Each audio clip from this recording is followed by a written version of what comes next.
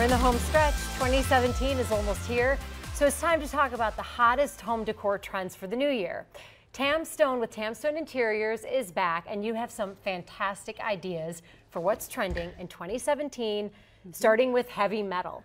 Yeah, I just returned from High Point Market about a month ago and saw everything that's going to be coming out um, in this next year. And one of the things that there are kind of five key trends that I saw and okay. what several of the design bloggers saw while they were there as well. One of them is this heavy metal, and this is the idea that foundry metals are being poured as huge accents on our furniture. So if you notice here, there's a couple of uh, pieces here on the right from Show Modern, and look at the handles on this cabinet. I mean, it has got these, these poles on it, but there's hands that are cast that are uh -huh. holding them. And then also you see the cabinet below that has the metal with the fringe hanging off of it. And then the, the one up on the left is a um, Theodore Alexander piece, and the entire structure is being held up by a metal base. So it's not like you're seeing metal accents anymore. It's really being a structural and a artistic decorative part of, of pieces moving forward in our homes. Even the, the fringe is more delicate, but yes. it's such a statement. Yeah, no, it's very so much cool. a statement. Yeah, definitely. The next trend you call clear cut. Yeah. What's clear cut? Okay, so we saw lucite. Um, I think I even had this trend a little while ago, and you would see it more like you're seeing on this Duralee piece in the upper right, where it might be a leg or an accent, maybe knobs or something like mm -hmm. that.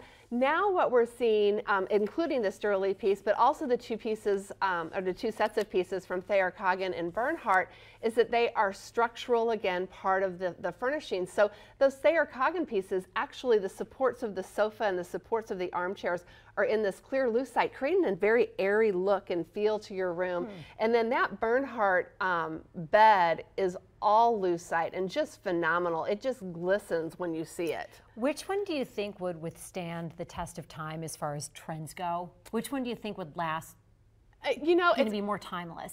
Actually, how all of those are executed, I feel like they do, and it's really the reason that I, I chose them. Uh -huh. um, the one on the, the left, the bed by Bernhardt, I mean, that's just a Hollywood glamour. If that's your style and you yeah. have that, that amp it up, you're going to always love that piece. I also feel like the modern pieces from Thayer Coggin can handle that clear structure yeah. and not look like it's out of place. It's not like it's a Louis the 16th chair or something right. with lucite legs.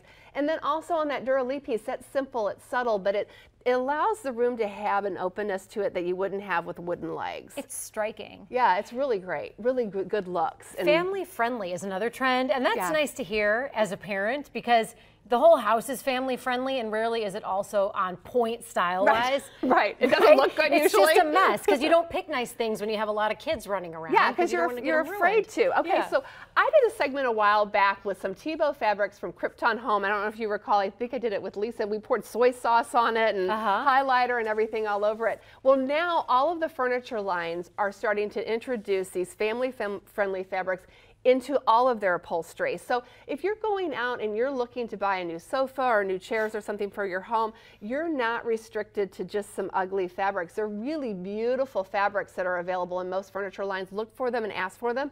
Or also lines like Tebow actually carry them by the yard and you can reupholster your existing furniture for a fraction of the cost and have this incredible durability to it that um, is really wonderful. I put it on most uh, any heavy duty pieces in all of my clients' homes, and it doesn't yeah. matter what level client they are.